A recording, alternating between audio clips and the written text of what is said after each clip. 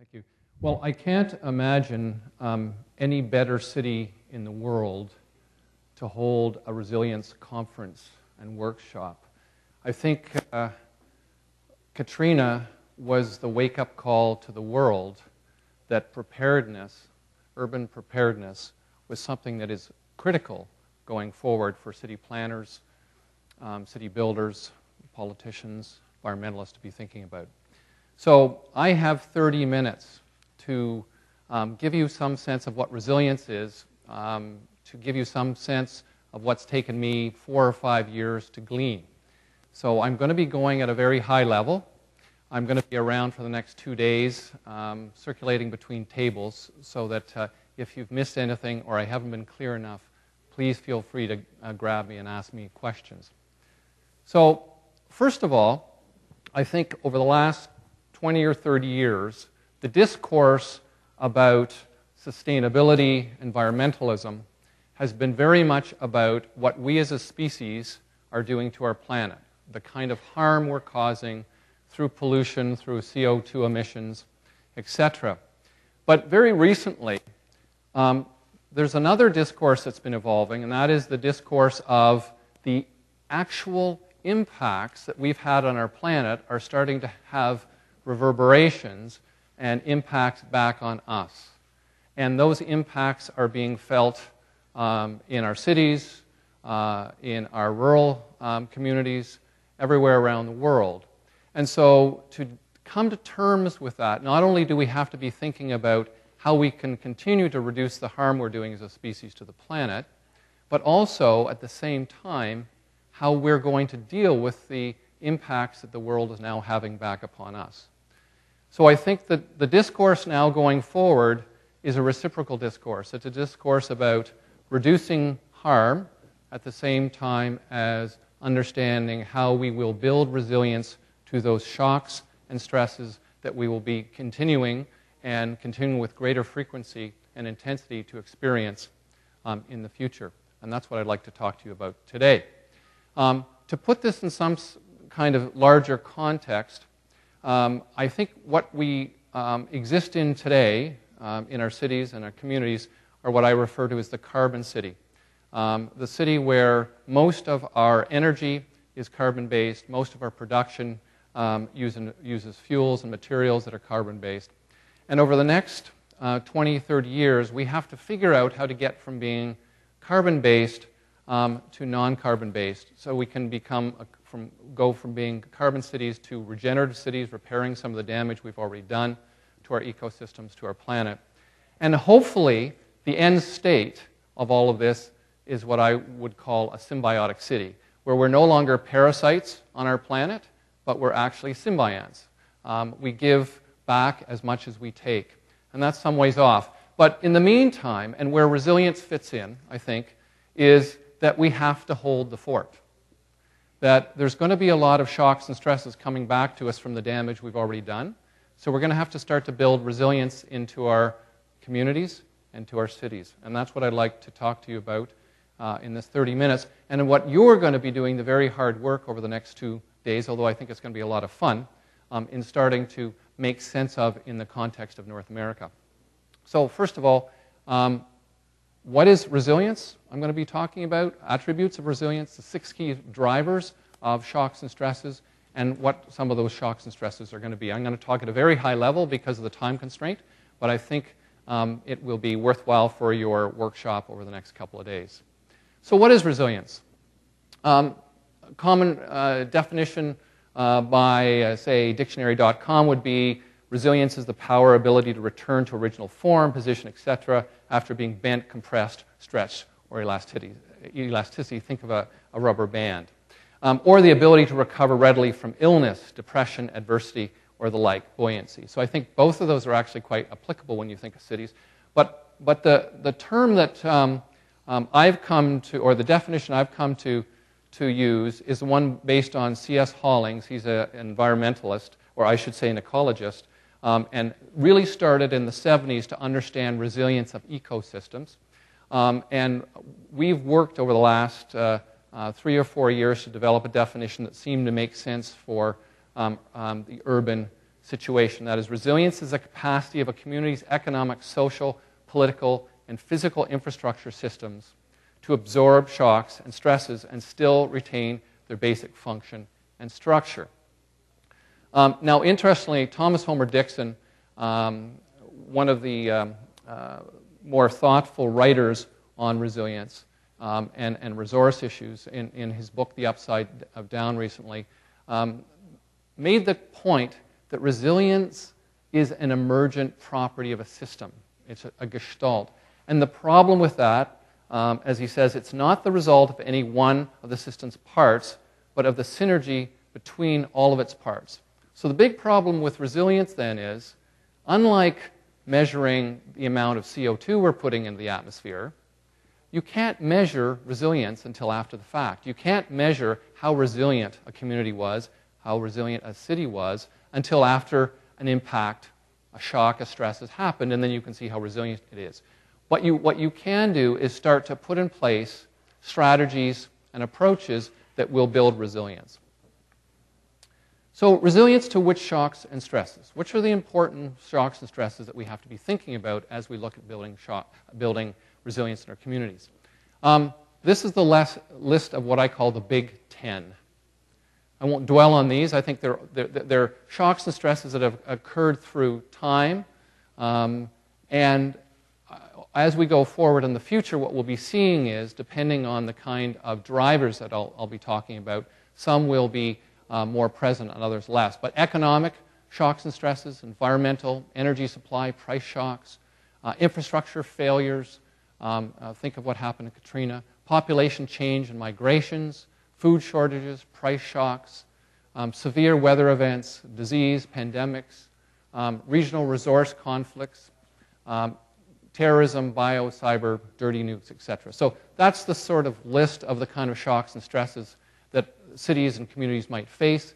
Um, and the, the key here when we're talking about building resilience is to understand the drivers of, of these shocks and stress. What, what is behind producing these shocks and stresses? Well, I think there are six key drivers. First is climate change. Um, and second is population growth migration. Third is energy supply. And by this, I don't mean peak oil. It's all things related to getting energy from one, creating it, getting it from one point to another. Um, environmental degradation, resource uh, conflicts between regions, and of course, socio political uh, conflicts. Um, and I'd like to spend a little bit of uh, time on these two because I think going forward, these will probably be the most important drivers of shocks and stresses to our communities and cities over the next 25 years. And these are the ones that we'll have to be looking at building resilience strategies and approaches for to make our cities and our communities more resilient. So, climate change. Um, all of you are aware that uh, we have a problem with carbon dioxide production um, since the Industrial Revolution, we've been continuing to pump more and more carbon dioxide into the atmosphere. This is not new news. Um, but I can tell you that as of yesterday, nothing has changed on this. Um, and of course, as you know, the carbon dioxide um, concentration in the atmosphere has a um, corollary of uh, driving temperatures up on average across the planet. So um, this, this, is, this is something that is, is, has not changed over the last 10 years. Um, all of the uh, attempts at uh, finding ways to reduce carbon dioxide through efficiency, um, through um, legislation, have not had any um, discernible impact on the amount of carbon dioxide being generated. And as you can see, temperatures following them up. And looking forward, unless, there, unless something changes, and I think there are some opportunities for change, um, carbon dioxide production will continue um, to not only um, increase but accelerate. The, the blue line up here is um, uh, the United States carbon dioxide production, and the red is China. China is very quickly catching up the United States, and the rest of the lines below um, are the rest of the major industrial countries in the world. So, what I would like to do, you're all very familiar with climate change, I would like to give you some sense of one of the really key things that's going to drive um, shocks and stresses as a result of climate change. And this is the impact that climate will have on agriculture. Um, and as you are well aware, um, there are two bands of desert around the world, and these are caused by what are called the Hadley cells at about 25 degrees altitude on either side, uh, or I should say, latitude on either side of the equator. Um, and these are caused by the hot, moist air rising up from the equator, um, equatorial regions, dropping all of their moisture um, to create the rainforests of the world, and then coming back down to Earth. And as they come back down to Earth, they've lost their moisture, and as they come down, Boyle's law causes them to uh, increase in temperature, and they come down as very hot and dry air, causing the desertification um, of those bands. Um, climate scientists are predicting that as time goes on and as we uh, increase the, the average temperature of the atmosphere, that these Hadley cells will tend to expand northward and southward. Um, and if you look at where they're expanding over, they're expanding over what are now the world's bread basket, the, where the world produces rice, corn, and wheat. And so that means that the, not only is the world's population increasing, but the number of arable um, acres be able to produce food is decreasing. So whether this comes as gradual stress of decreasing numbers of arable um, acres of land, or shocks when one particular ecosystem collapses and brings down um, production of grain or corn um, at some part of the world, they will, it will certainly be something that we'll be looking forward in the future to happening over the next 20, 25 years. So, the second thing that is really worth considering when we talk about um, resilience is how population growth and migration are going to have an impact on cities in the future. Um, the good news is that the overall rate of population is falling. The bad news is that over the next 25 years, we will be adding 2 billion people to the planet. Um, and irrespective of the Hadley cells and climate change, that is going to drive um, demand on food um, and therefore the cost of food. And unless we can find ways to produce food um, in new ways and cost effective ways, cities will be seeing both uh, stresses, long term stresses, as well as particular shocks and stresses as price changes happen. Um, we're harvesting most of the big fish species out of the oceans. Um, the cod, the huge cod industry has collapsed in 1992, and there are a number of other major species that are headed for collapse over the next 10 to 20 years.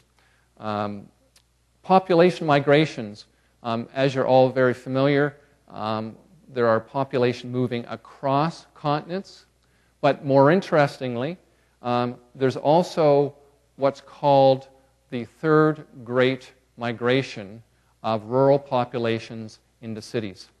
So we're going to be adding um, over the next, by 2050, 2050, about 3.1 billion people to cities.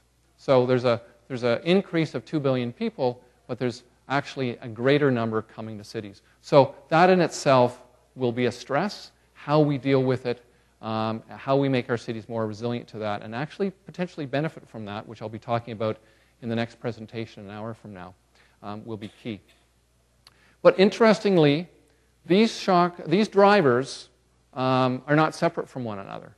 They tend to multiply one another's effects, and they also tend to interact with another, one another. So that climate change will obviously have some impact on population migrations. It will have some impact on resource issues um, and so forth. So, how do we start to build capacity for resilience to these future shocks and stresses?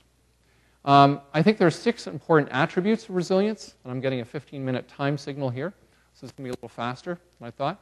Uh, key flexibility, redundancy, diversity, decoupling, decentralization, and environmental integration. Um, flexibility is pretty obvious. Um, making our cities and our communities more flexible to, to change um, stresses um, will be key um, to building resilience. Redundancy is very important. Redundancy has been a dirty word over the last 20 years uh, in management and engineering circles. Just uh, think about how just in time um, manufacturing and product supply has been lauded as, as the way to build profit, uh, for example, in retail systems. But what happens if one point of that just in time um, network fails? The whole thing collapses. So, having redundancy in, in, cities, for example, say redundancy of water supply, redundancy of electrical power supply, is going to be very important for building re, uh, re, um, resiliency. Diversity. Think of the difference between the resiliency of a uh, monoculture, a cornfield, and a very rich ecosystem understory in a forest. Um, a bug, uh, a, a, virus, a mold in a cornfield can wipe it out, whereas one in a, in a very rich ecosystem may harm a few plants uh, but not hurt the overall ecosystem. So, diversity in how our cities are construed and constructed, uh, the number of elements involved. Think of you know a big box, one big box store versus uh, many small retails. Um, certainly, many small retail is going to be more diverse. Uh, decoupling, uh, following cars following too closely behind on a freeway, and someone hits the brakes, you've got a crash. The same thing happens with cities now. Um, uh, very connected economically. Uh, one city somewhere, one community somewhere fails, something goes wrong, it has ripple effect throughout. It doesn't, it doesn't mean that we should disconnect completely, but what it does mean is that we should be, build resilience into the fact that we're connected so that if something happens somewhere else, that it doesn't ha- cause complete um, uh, collapse uh, in, in the community that we're living in. And then decentralization. Um, the classic starfish and the spider comparison cut a leg of a starfish off, and what happens? Um, the uh, leg grows a new body, and the body grows a new leg. Um, where cut off the head of a spider, and the spider dies. Uh, decentralization means that if one part of a community or city is affected, um, then the, the controls, the response, the ability for it to respond to that shock or stress is not completely destroyed.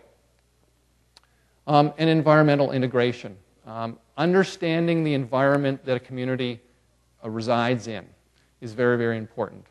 Failing to understand um, the real uh, implications of the environment that you're in, and of course, this is New Orleans after Katrina, is catastrophic. Okay, thank you very much. I, I, uh, I'm about to uh, present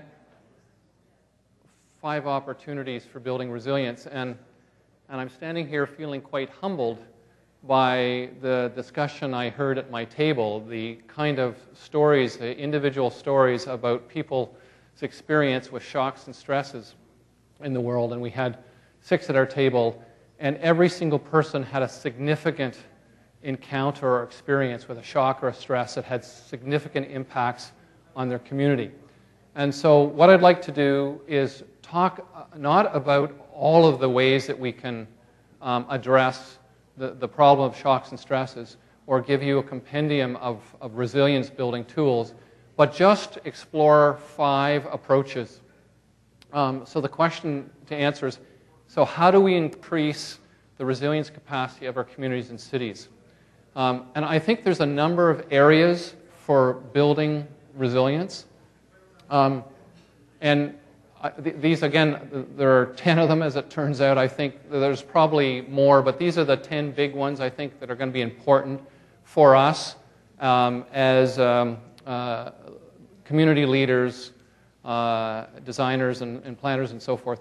Um, one is public health. The area of public health is going to be critical to building resilience in communities. Education and training will be very important.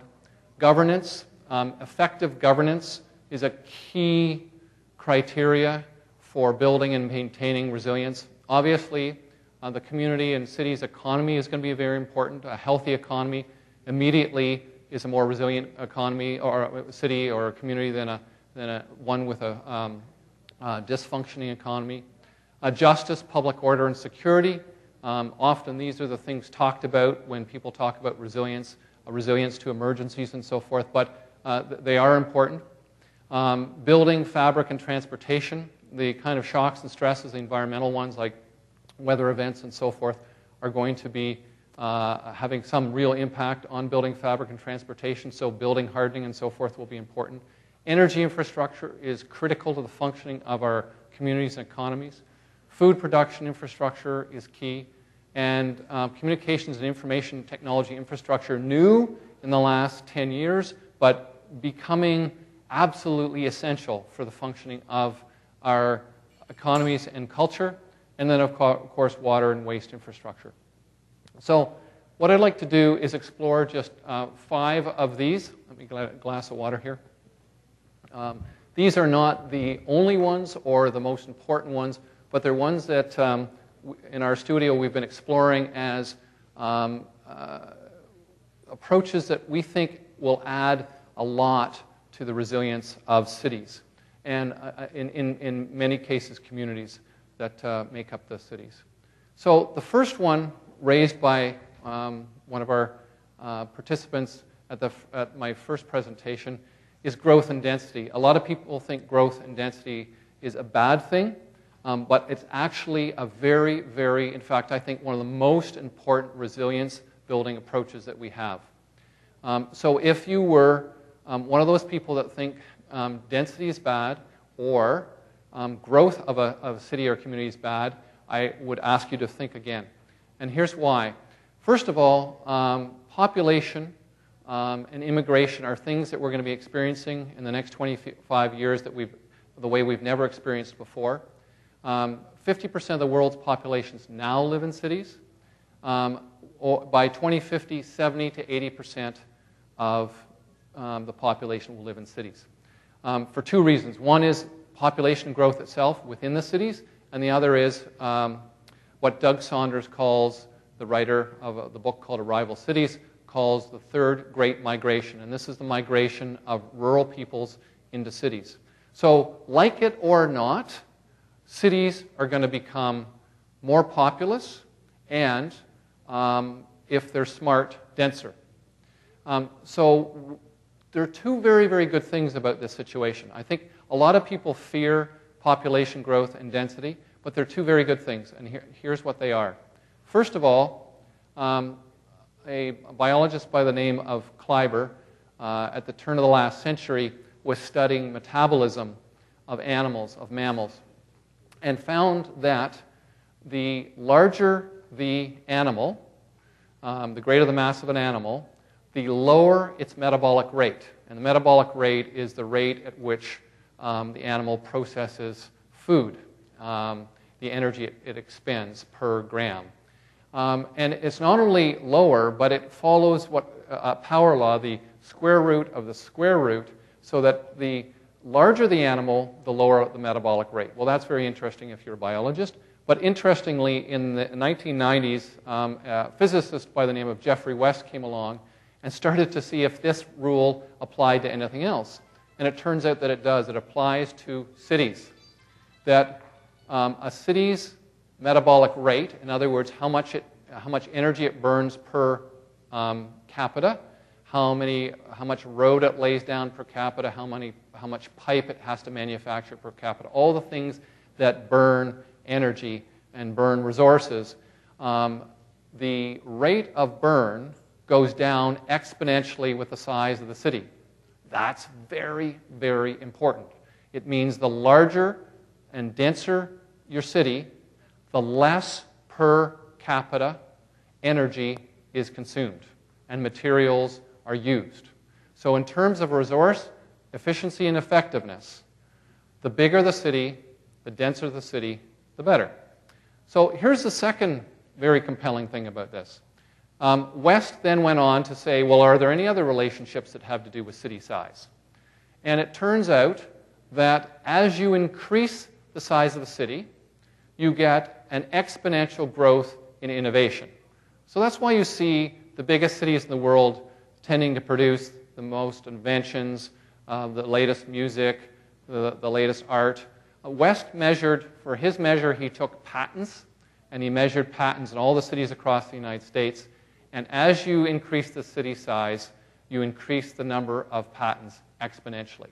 So that means that as cities expand, um, in size, They're going to be reducing the amount of energy per capita that they uh, use, which good, which is good because think about energy is also in our present world carbon. So our carbon footprint per capita goes down with large cities.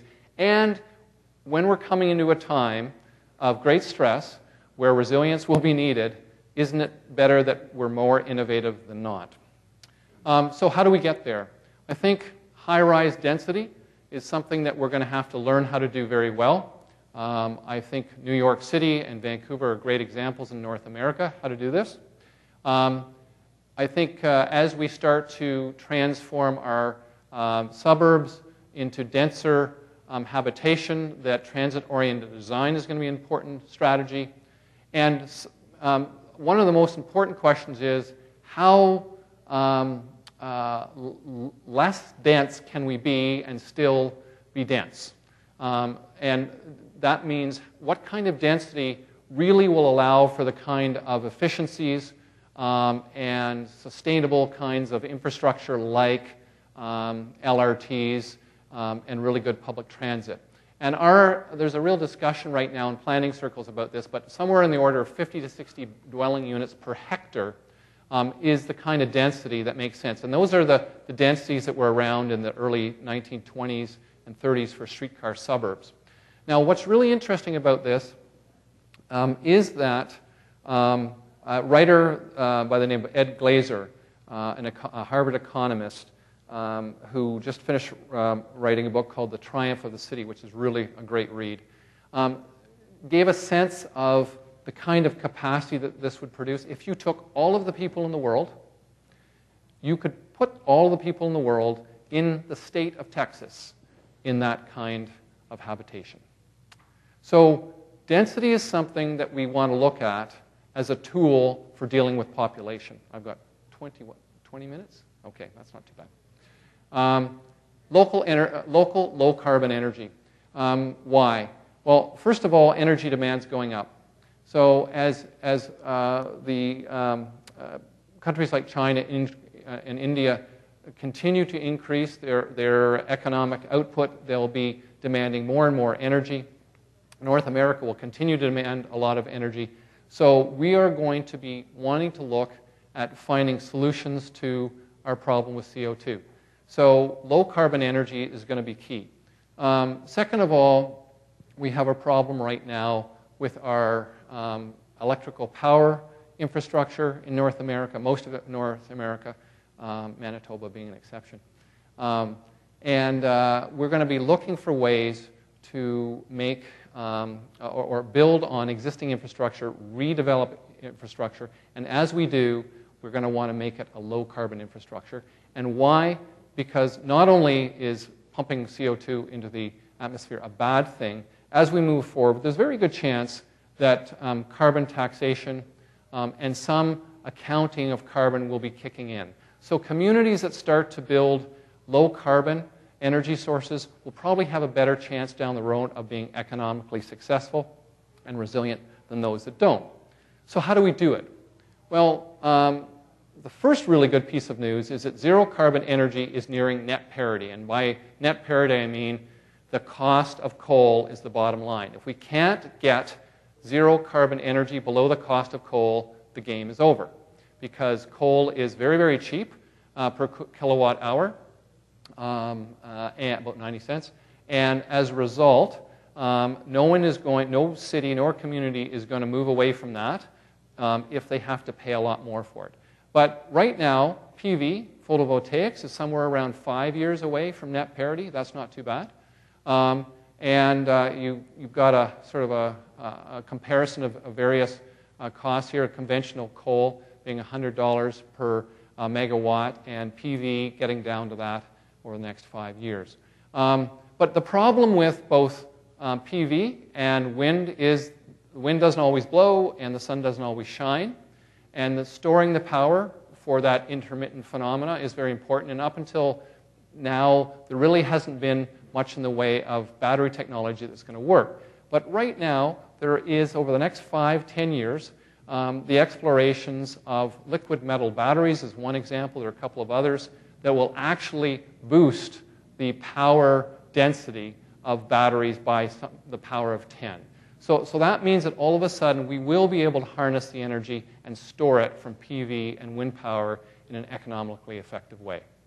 But I think more important and most controversial is uh, nuclear power. How many of you have um, some ambivalence about nuclear power? Hands up. Okay? Um, and uh, so you probably should. Um, the power, nuclear power of the past was based on uranium. Um, and uranium had two goals. One was to produce um, uh, power, but the other was to produce plutonium so we could make um, atom bombs and hydrogen bombs um, in the Cold War. Well, there was, a, this is a, a, um, a, a, nuclear plant in China, a CANDU plant, um, using Canadian technology that, that our country really isn't pursuing anymore. Uh, but China certainly is, as is India, because it is starting, um, uh, or they are starting to use thorium nuclear. And thorium, um, unlike uranium, is much richer in energy and also much less expensive. And the waste products from it are much less harmful. They have half lives of in the hundreds of years as opposed to thousands of years. And it's very, very difficult to make nuclear weapons from them. That's why um, the, um, the Allies in the Second World War stayed away from it because it was too difficult to make a bomb out of thorium, whereas with, you could, you could uh, uh, process uranium to make plutonium very easily.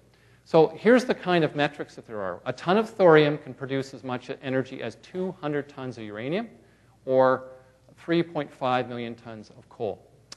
Um, and this kind of power over the, probably the next five to 10 years has the potential to um, meet or go below the cost of, of coal.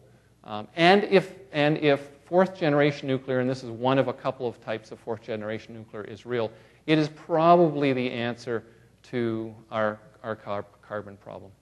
Um, much as it's very controversial, I think it's something you want to consider in the future when you hear about it. Um, the third one is local food production. Um, why do we want to consider local food production?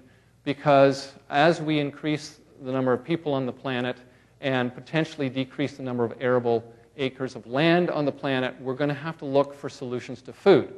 Um, also, as we face disruptions in um, uh, potentially in transportation and power supply and so forth, we're going to want to build resilience into our local food supply systems because to survive, we need um, two things we need water and we need food.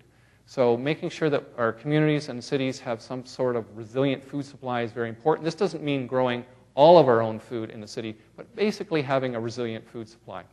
So, remember the Hadley cells. Um, this is going to be one of the main uh, culprits of uh, causing uh, food shocks and stresses in the future. Um, and so we're going to want to look at how to build resilience to that. So, how do we do it? Well, right across North America right now, um, there is uh, a debate going on in municipalities about whether or not you can have chickens in your backyard. Um, do, in, in, your municipality, do you have the chicken debate going on? Hands up? Yeah, okay, everywhere. So, um, whether or not uh, you are going to be allowed to have chickens on, in your backyard is really not going to solve the problem of local food. It's simply not scalable. You get one chicken per, uh, sorry, one egg per chicken per day, um, unless things get fouled up, um, and then you have less. So it just doesn't scale. The reality is that the amount of land required, typical arable land, um, per person in North America is about two acres per person for an omnivore. Um, it's less for uh, vegetarians. Um, in Toronto, that means six million acres. We don't have six million acres of land um, around, uh, in Toronto, and most cities right now have paved over their, their arable land to put up suburbs.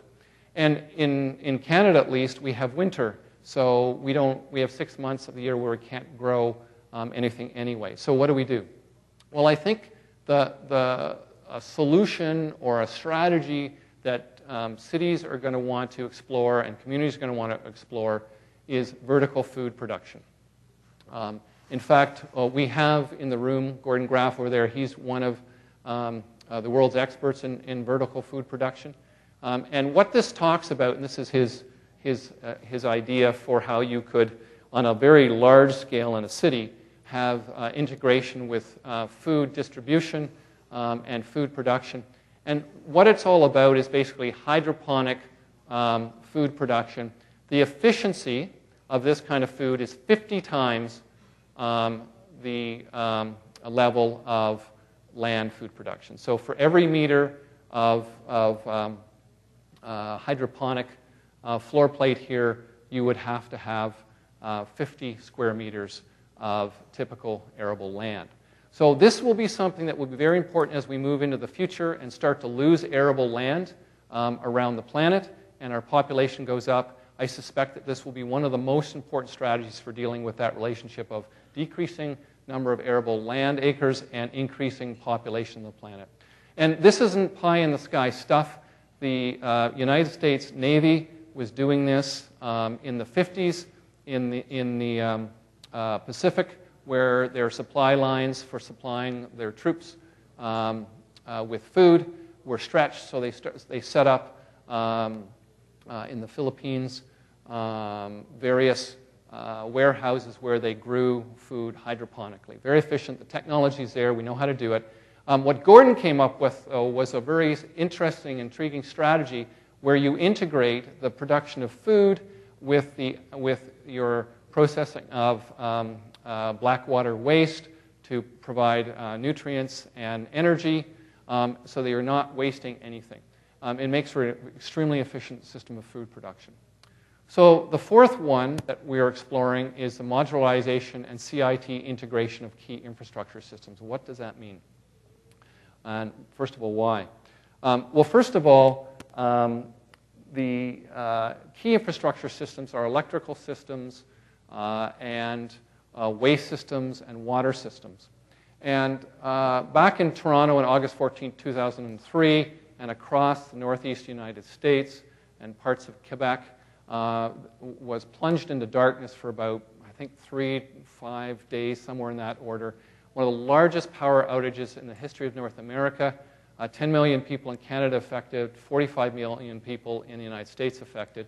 Um, and what it, what it spoke to is the fragility of our um, North American, or at least uh, American Canadian power grids, um, and how you can have one small incident happen uh, in one city and have a cascading series of failures. Um, so I think um, building resilience into our, our grids is going to be very important. Um, there are some opportunities uh, for doing this. As another example, just recently in the United States, of storms cu- um, cutting through a number of communities and taking out power. Um, so, how will those communities respond, and are they resilient to that kind of uh, impact? So, how are we going to do it? Well, first of all, one thing to keep in mind um, in all of our discussions is Moore's Law.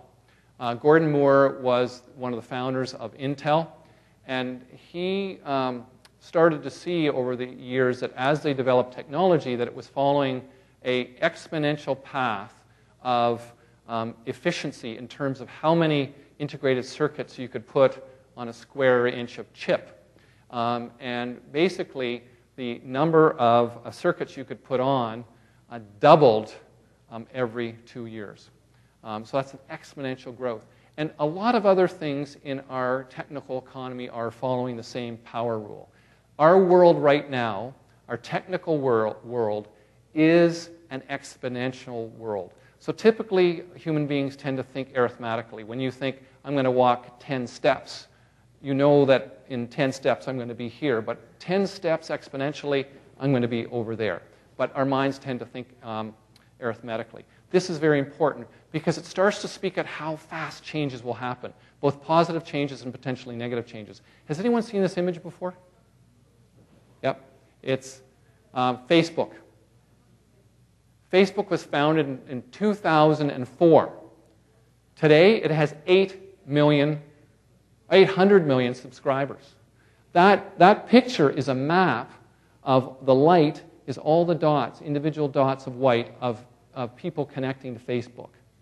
And you can see that it maps out the United States and a little bit of the bottom of Canada because Canada is really just a thin ribbon along the, the, the, top of the United States. And the edge of um, uh, Central and South America, Europe, a bit of the edges of Africa, and then into China's almost gone uh, because, of course, it's cut off from the rest of the internet.